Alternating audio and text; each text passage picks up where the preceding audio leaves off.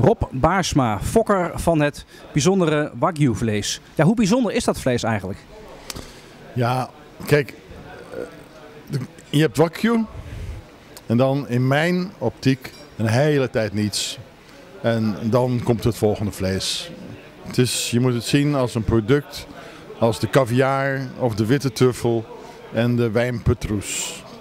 En uh, is, het is een product wat, wat eeuwenlang in uh, Japan uh, geselecteerd is op zijn trekkracht.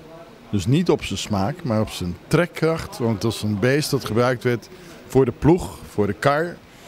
En ehm, overigens in Japan was het zelfs verboden voor de mensen om vlees te eten. Dat was alleen de keizerlijke familie die dat recht had. En ehm, door die selectie op kracht is die enorme marmering ontstaan in de koe. Want zonder die marmering kan je niet een explosie van kracht geven. En uh, dat unieke facet, dat moet er met de fok ingehouden worden. Heel zorgvuldig. We worden ook begeleid door de Universiteit van uh, Wageningen in ons fokprogramma. Met name dan voor de marmering, de kleur van het vet en de grootte van het karkas. En die drie moeten in stand blijven met een heel beperkt genetica die we buiten Japan bezitten. En uit Japan komt helemaal niets meer. Want dat beschermen ze nu als hun schat. En, uh, ze zien dat als een uh, national heritage.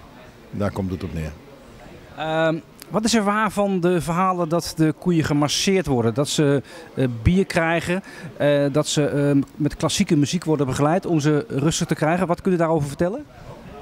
Nou, dat, dat verhaal is waar. Alleen de achtergrond is een beetje anders als de mensen denken. Want je moet zo zien dat uh, in Japan is een land met heel weinig landbouwgrond.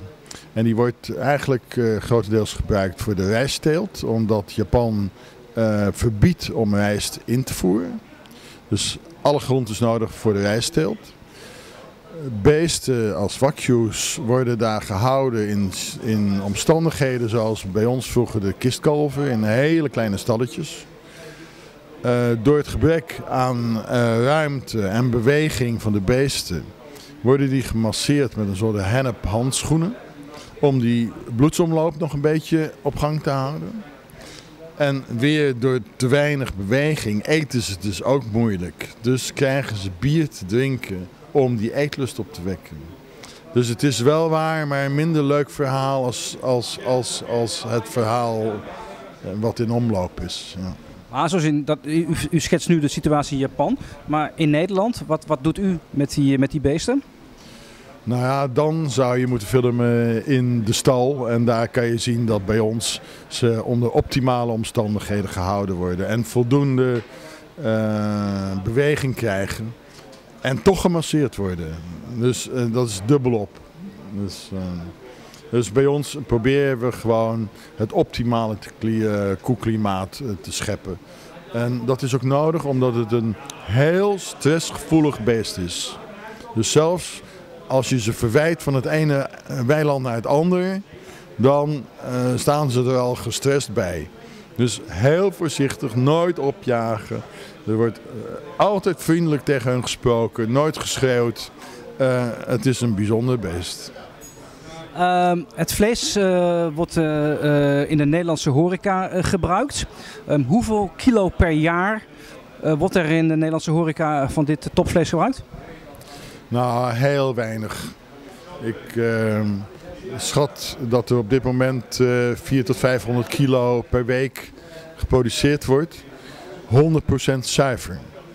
Dus er wordt veel meer geconsumeerd, maar dat is geen 100% zuiver wakje. Dan praat u over kruislingen? Dan praten we over kruisingen, meestal met Angus of Hereford. Maar ja, dat verliest dan jammer genoeg onmiddellijk zijn echte wakju smaak. Ja. Um, jullie zijn ook bezig om met een soort, soort certificaat te gaan werken. Kunt u daar iets over vertellen? Op dit moment uh, zijn er een aantal bedrijven die uh, vlees leveren, waaronder Wagyu. in verschillende kwaliteiten. Met elkaar in gesprek om te komen tot een vrijwillige certificering. Zodat de consument weet wat hij eet en waarvoor hij betaalt. Ja. En hoe lang duurt dat voordat die certificering helemaal rond is? Ik heb er geen idee van. Ik denk dat dat van de deelnemers afhangt. En uh, ik hoop dat het heel snel is. Um, u bent fokker en u werkt met, ik geloof, 12 of 13 uh, boerderijen in de directe omgeving?